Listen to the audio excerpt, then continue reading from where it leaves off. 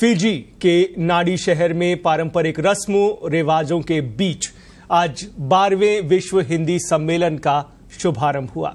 भारत के विदेश मंत्री डॉक्टर एस जयशंकर और फिजी के राष्ट्रपति विलियम काटो नेवेरे ने दीप प्रज्वलित कर देश दुनिया से आए हिंदी प्रेमियों का स्वागत किया।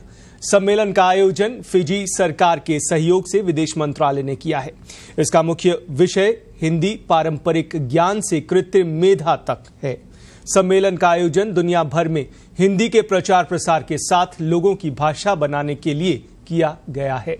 कार्यक्रम में फिजी की पारंपरिक रूप से डॉक्टर एस जयशंकर का भी स्वागत किया गया। और कार्यक्रम की कुछ झलकियाँ हम आपको दिखा रहे हैं। टीवी स्क्रीन पर किस तरह से यहाँ पर भव्य आयोजन किया गया और पारंपरिक रूप से फिजी में हिंदी महोत्सव का आगाज़ हुआ।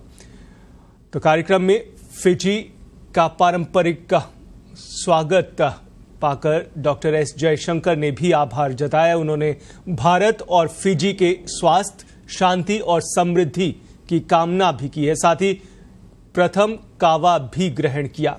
इससे पहले कार्यक्रम को विदेश राज्य मंत्री वी मुरलीधरन और केंद्रीय गृह राज्य मंत्री अजय मिश्रा ने भी संबोधित किया।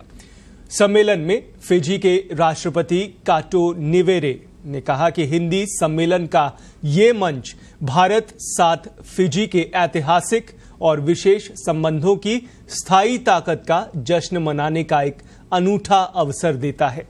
दोनों देश आर्टिफिशियल इंटेलिजेंस के साथ हिंदी के विकास पर काम करेंगे, ऐसा प्रतिबद्धता यहाँ पर जताई गई है। विदेश मंत्री डॉक्टर एस जयशंकर और काटो नेवेरे ने एक साझा डाक टिकट भी इस मौके पर जारी किया।